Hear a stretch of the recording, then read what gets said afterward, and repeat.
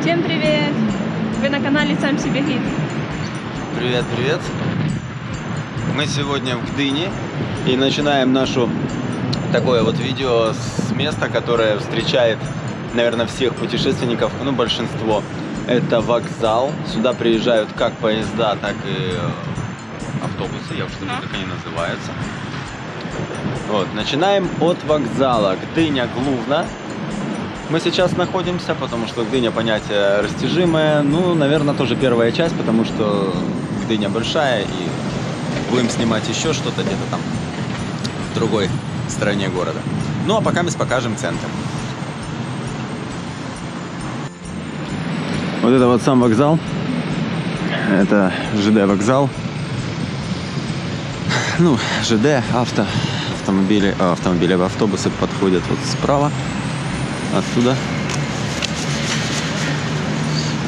А здесь кассы есть как на поезд, так и на СКМ, которые вот, ну, электрички, которые междугородки ездят.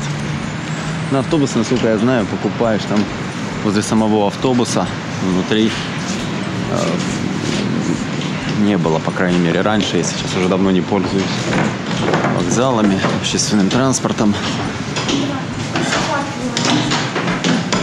Вот. Так вот внутри. Здесь также авто- магазины такие, Росман, всевозможные тютюнки и так далее.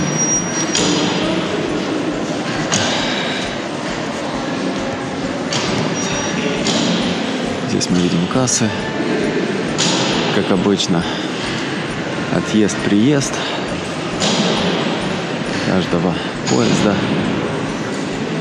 Здесь в основном с этой стороны продают э, на поезда.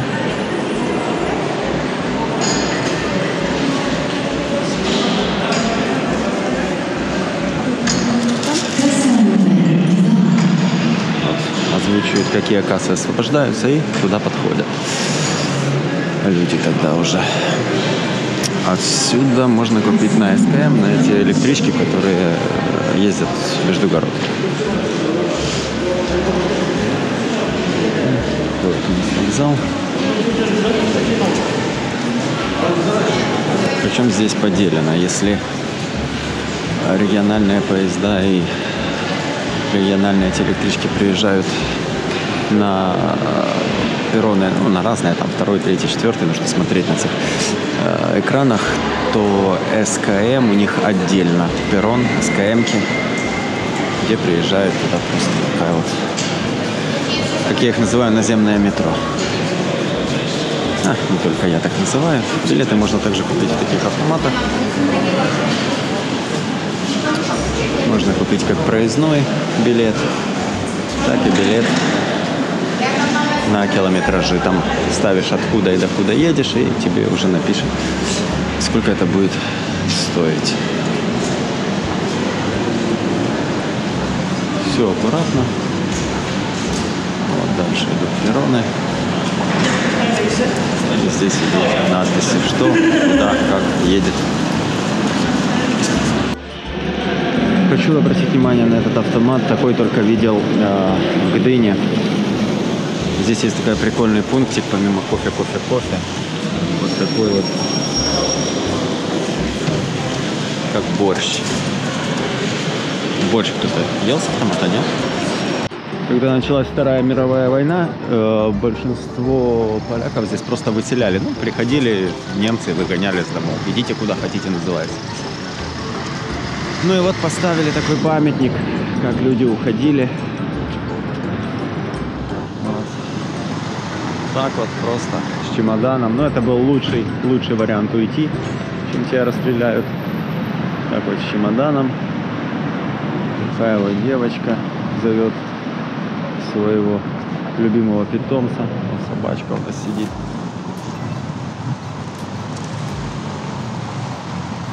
Так вот, увековечили.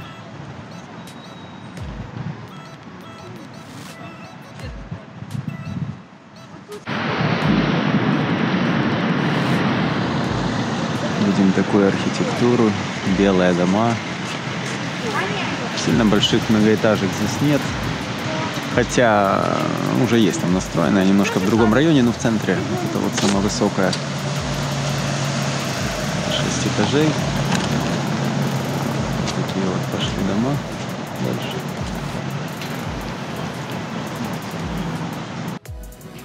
Перебрались мы ближе на набережную. Вот видим университет Морский.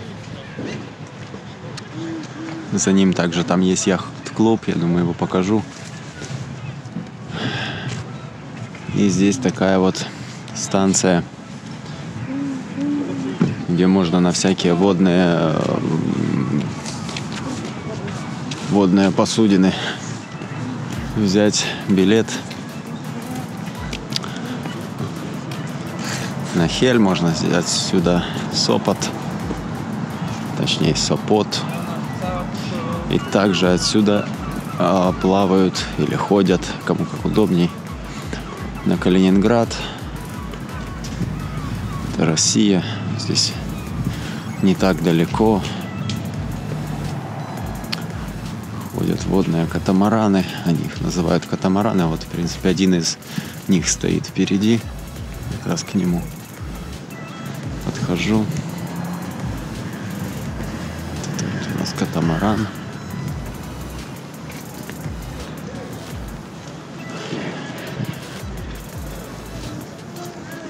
Цены на билеты, ну, я уже говорил еще в выпусках.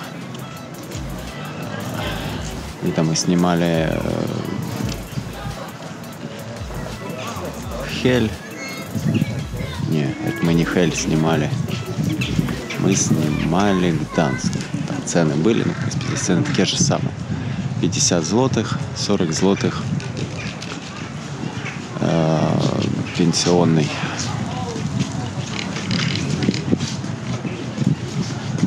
Если с велосипедом, еще 15 злотых за велосипед платишь. Как Гдыня Хель. Ну, в принципе, такая самая цена э, с Гдыни в Сопот. Там было.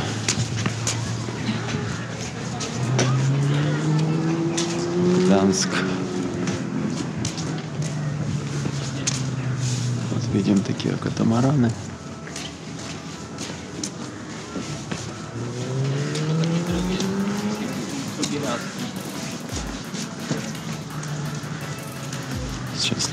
Очень много у нас. Вечер уже включаются фонари.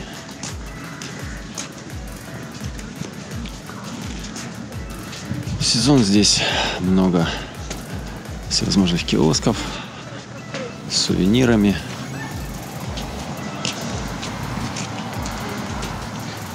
Хотя в этом году было не так и много из-за коронавируса. Посмотрим, что будет в следующем.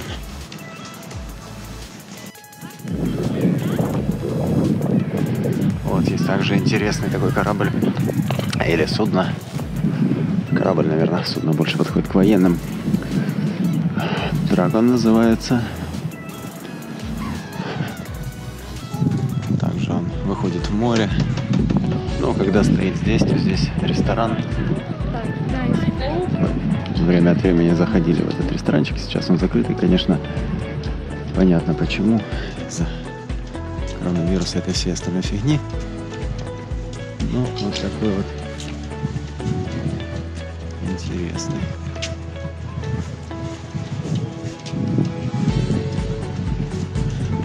Еще один есть красивый корабль. Дар молодежи называется. Белоснежный. С парусами. Кстати, сколько раз я здесь был, ни разу не видел, что поднимались на нем паруса. Обычно не спущенная, потому как он стоит. Хотя буквально еще какие-то года три назад его здесь не было. Не так давно он переплыл. Здесь также аллея. Капитаны вот,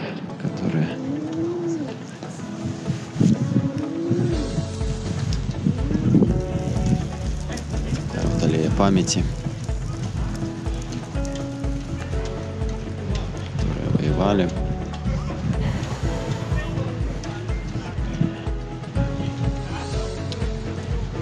Шат веночки.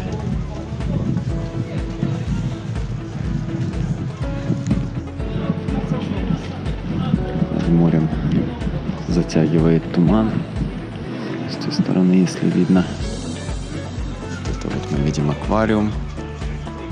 А в аквариум был вход 25 злотых и 18 э, такой вот пенсионный, там, школьный. Такие интересный аквариум.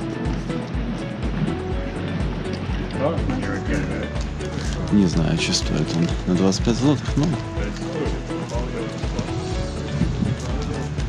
в принципе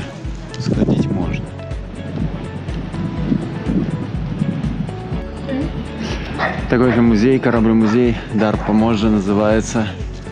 А, вход сюда 18 злотых. По крайней мере, был так в этом году. А, можно по нему подходить, посмотреть палубы, а, палубы каюты, ну, все такое вот, как, как живут моряки. Он тоже уже в море не выходит, списанный, как я понимаю. Здесь стоит просто как музей.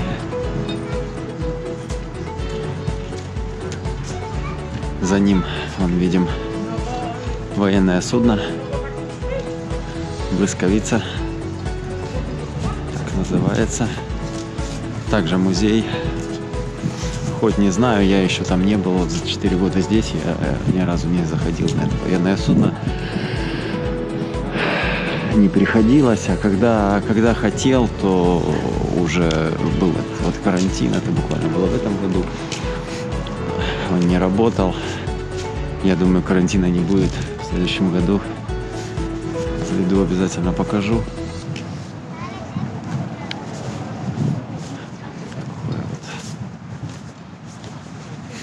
Судно интересное.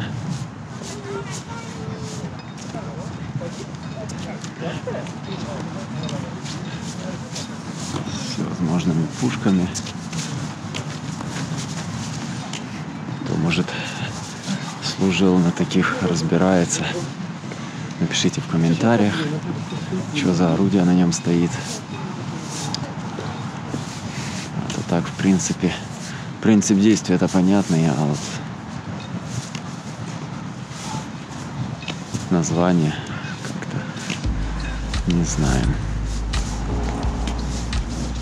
Также виднеется большущий такой бизнес-центр на берегу.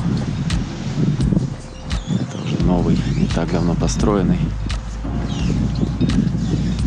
Не знаю, возможно, там наверху какие-то пентхаусы, какие-то жилые помещения. Ну, внизу там банки, тренажерки.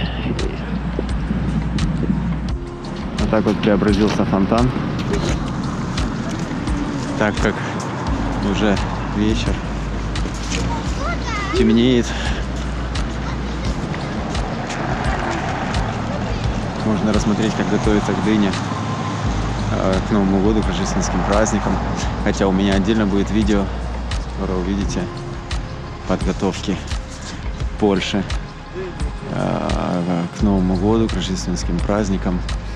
Мы покажем, как люди, как вот по улицам готовятся, как у каждого там частный сектор, как дома украшают. Одни из наших подписчиков попросили показать это, мы снимем это видео. Также я не забыл, не забыл, один из подписчиков меня просил отснять по автотеме, отснять э, Мазду троечку. Я обещал, что сниму, какие цены, сколько стоит. Но вот я, конечно, его сниму, это видео немножечко затягивается, потому как с Маздами немножко проблематично здесь. Не, си- не сильно их продают, не сильно их берут на эти площадки. а люди, которые продают в частном образе, не сильно любят, чтобы приезжали к ним просто поснимать. Вот. Они сильно берут на площадке, потому как у нас Балтика, у нас море, у нас соленый э, воздух, э, не знаю, если так можно сказать, много воды, много соли. И Мазды очень гниют, ну, такой вот автомобиль, особенно там шестерки, загнивают кузов вместе с колесами. Потому не очень продаваемые автомобили здесь. И найти их так вот просто. Хотя мой друг один купил себе такую Мазду.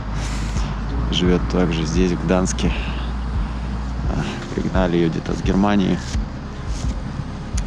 Да, кстати, Веталь, привет, если смотришь сейчас это видео, думаю, ты его посмотришь. Скоро мы приедем к тебе и все-таки сделаем обзор, что можно купить, за какие деньги. Сделаем обзор Mazda троечки.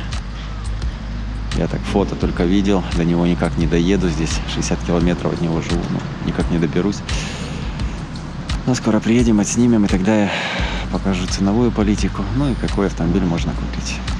За всех за все пожелания подписчиков я помню, просто не всегда могу так вот быстро среагировать и все отснять, потому как, э, ну, немножечко, немножечко бывают трудности у всех. У нас есть еще основная работа, на которую приходится ходить. Вот, вкратце так показал здесь улицы. Сейчас пойдем дальше. Обычно в Гдыне здесь ярмарка на Новый год, но в этом году отменили все ярмарки. Поэтому вот такая елочка немножечко, скажем так, бедненькая по сравнению с прошлым годом. Здесь была одна из самых лучших елок. Ну, по крайней мере, очень красивая была. На данный момент мы видим здесь просто елочки. Такие украшения. Какие-то надувные вещи.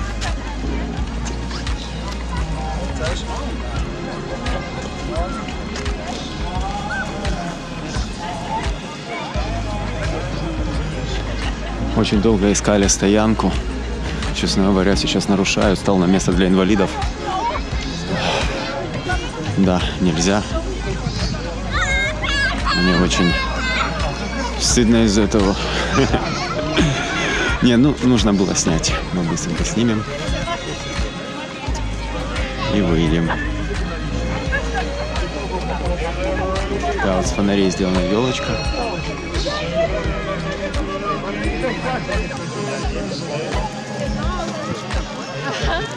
Что-то там пьет оркестр. Запрятали за елку, типа их не видно. И что-то там потихонечку пьют с бутылки от шампанского. Ну что, можно пить с бутылки от шампанского. Вот.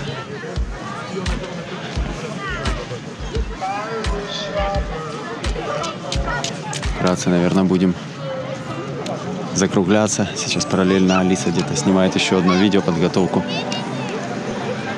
городов, сел к Новому году. Даже потерял ее из вида, где она бегает.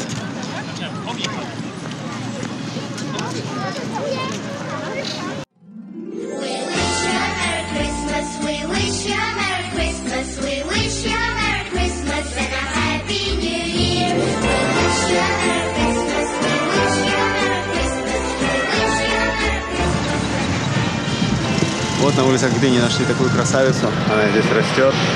Это как бы не главная елка, но украшена в этом году получше за главную. Да, метров. Метров 20, наверное, стоит.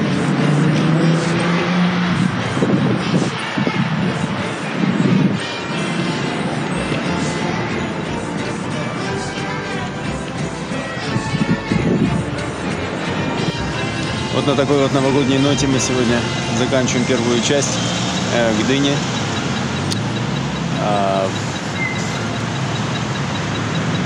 вот у меня уже слова пропали, да? Замерз.